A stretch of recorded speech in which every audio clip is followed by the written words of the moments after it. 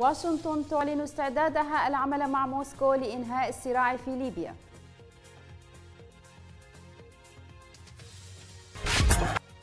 مجموعة الدعم الدولية تشرط على لبنان حكومة إصلاح لقاء حصوله على مساعدات.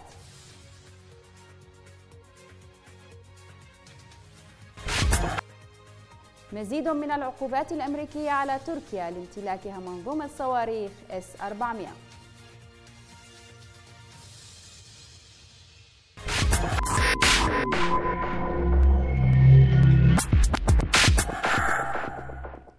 نشرة الأخبار من أكاديمية فوكس أهلا بكم.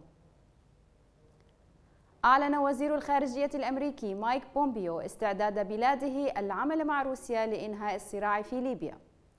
وأضاف بومبيو أنه ذكر نظيره الروسي سيرجي لافروف بحظر الأسلحة المفروض في ليبيا مشيرا أنه لا يمكن أن يكون هناك حل عسكري للصراع.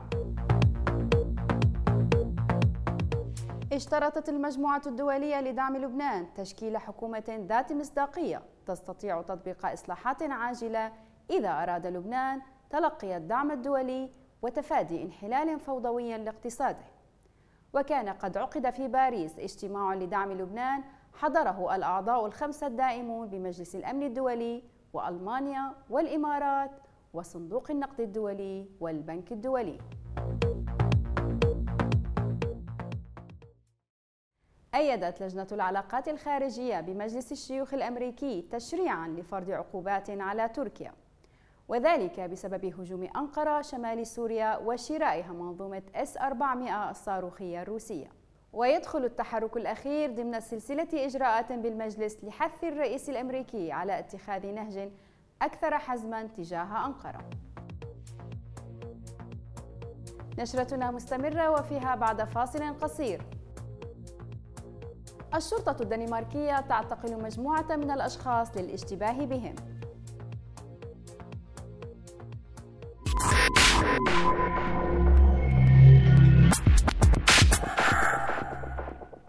أهلا بكم من جديد. أوقفت الشرطة الدنماركية عشرين شخصا للاشتباه بحصولهم على متفجرات وسعيهم لحيازة أسلحة. كما أعلنت السلطات أن الموقوفين كان لديهم النية وقدرة على ارتكاب اعتداء إرهابي دون أن تحدد الأهداف المحتملة.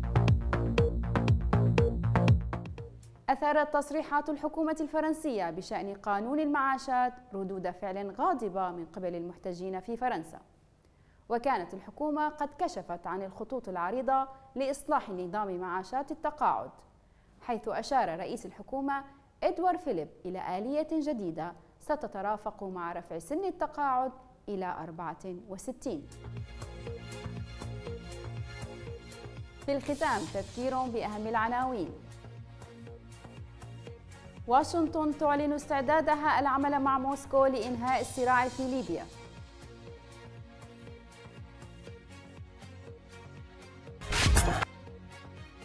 مجموعة الدعم الدولية تشرط على لبنان حكومة إصلاح لقاء حصوله على مساعدات.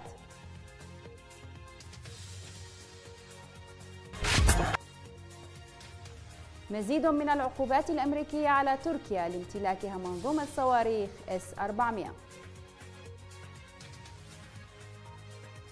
بهذا نكون قد وصلنا لنهاية نشرتنا. للمزيد من الأخبار يرجى زيارة موقعنا Focus Academy dot TV شكرا للمتابعة وإلى اللقاء.